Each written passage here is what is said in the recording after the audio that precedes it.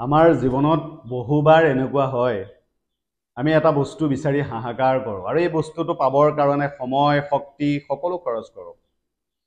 শেষত এই বস্তুটো বিচাৰি ওলাই যাওঁ আৰু বিচাৰি বিচাৰি ইয়াক নাপাওঁ আৰু শেষত খালী হাতেৰে ঘৰলৈ ঘূৰি আহোঁ আৰু আহি পেলাই অনুশোচনা কৰোঁ যে এই বস্তুটো বিচাৰি মই ইমান সময় নষ্ট কৰিলোঁ কিন্তু এই বস্তুটো মোৰ ওচৰতে আছিল মোৰ লগতে আছিল। তেতিয়া মনলৈ ভাৱ আহে যদি মই আগতীয়াকৈ এই বস্তুটো বুজি পালোহেঁতেন মোৰ সময় আৰু শক্তি দুয়োটাই বাচিলহেঁতেন। সেইকাৰণে আমি জীৱনত কিবা এটা বিচৰাৰ আগত প্ৰথমতে বুদ্ধি আৰু জ্ঞানেৰে এবাৰ ভালদৰে ভাবি চাব লাগে। গণেশ আৰু কাৰ্তিকৰ মাজত সৰু সৰু কথাতে প্ৰতিযোগিতা হৈছিল। কাৰ্তিকে সদায় বিচাৰিছিল নিজক গণেশতকৈ শ্ৰেষ্ঠ বুলি প্ৰতিপন্ন কৰাব। এবাৰ কি হ'ল? কাৰ্তিকে ক'লে যে গণেশতকৈ মই শক্তিশালী আৰু ইয়াক মই প্ৰমাণ কৰি দিম। মহাদেৱে ক'লে ঠিক আছে। কাৰ্তিকে ক'লে আজিৰ প্ৰতিযোগিতাখন হ'ব সমস্ত ব্ৰহ্মাণ্ডখন যি সোনকালে কম সময়ত এবাৰ পৰিভ্ৰমণ কৰি আহি দেখুৱাব পাৰিব তেওঁৱেই শক্তিশালী বুলি প্ৰমাণিত হ'ব। মহাদেৱে ক'লে ঠিক আছে দেখা যাওক কোন শক্তিশালী। কাৰ্তিকে অকণমানো সময় নষ্ট নকৰিলে আৰু ময়ূৰ পক্ষীৰ পিঠিত উঠি সমস্ত ব্ৰহ্মাণ্ডখন পৰিভ্ৰমণ কৰিব গুচি গ'ল। গণেশ ভগৱান কিন্তু মহাদেৱৰ কাষতে বহি থাকিল। তেতিয়া মহাদেৱে ক'লে যে গণেশ তুমি কিন্তু প্ৰতিযোগিতাত হাৰি যাবা। কাৰ্তিকে ব্ৰহ্মাণ্ডখন সোনকালে পৰিভ্ৰমণ কৰি আহিব। তুমি যোৱা এই প্ৰতিযোগিতাত অংশগ্ৰহণ কৰা। গণেশে হাঁহিলে আৰু গণেশে ক'লে যে মই প্ৰতিযোগিতাত অংশগ্ৰহণ কৰি আছোঁ।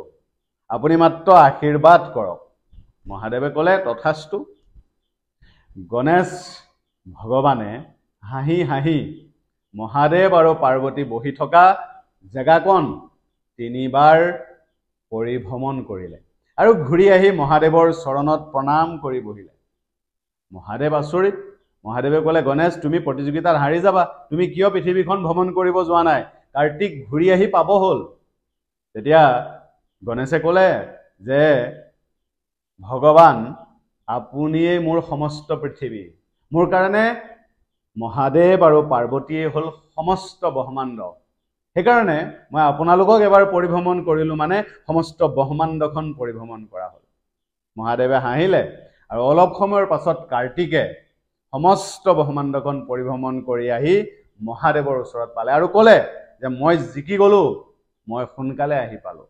তেতিয়া মহাদেৱে পুনৰ হাঁহিলে আৰু ক'লে যে তোমাতকৈ আগত গণেশে ব্ৰহ্মাণ্ডখন পৰিভ্ৰমণ কৰি আহিল। কাৰ্তিকে কথাটো মানিবলৈ অমান্তি হ'ল। তেতিয়া মহাদেৱে ক'লে যে সকলো কাম শক্তিৰে কৰিব নোৱাৰি। কিছুমান কাম কৰিবলৈ বুদ্ধিৰো প্ৰয়োজন আৰু গণেশে সেই কামটোৱে কৰি দেখালে। মা দেউতাই হৈছে সমস্ত ব্ৰহ্মাণ্ডখন আমাৰ পৰিয়ালটোৱে হৈছে সমস্ত পৃথিৱীখনৰ সুখ। আমি সুখ বিচাৰি বাহিৰত ঘূৰি ফুৰোঁ ডিস্ক'ভাৰত যাওঁ। সুখ বিচাৰি আমি চিনেমা হলত যাওঁ। সুখ বিচাৰি আমি বেলেগৰ জীৱনটো চাবলৈ যাওঁ। প্ৰকৃত সুখ ঘৰখনতে থাকে। প্ৰকৃত আনন্দ মা দেউতা আৰু পৰিয়ালৰ লগতে থাকে। এই কথা আমাৰ বহুত দেৰিকৈ উপলব্ধি হয়। সেইকাৰণে সময় থাকোঁতে উপলব্ধি কৰক। আপুনি বিচাৰি থকা সুখবোৰ টকা পইচাৰ মাজত নাই বা বাহিৰত বিচাৰি ফুৰা সেই জীৱনটোত নাই। প্ৰকৃত সুখ আৰু আনন্দ আছে অন্তৰত। আৰু এই কথাটো গণেশৰ নিচিনাকৈ বুদ্ধি লগাই বুজি পাওক। আপোনাৰ জীৱনটো সুখেৰে ভৰি পৰিব। আপোনাৰ জীৱনটো আনন্দময় হ'ব।